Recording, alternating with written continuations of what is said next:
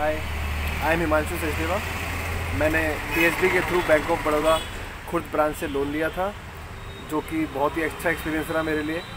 और यहाँ का स्टाफ भी बहुत कोऑपरेटिव और हेल्पफुल है।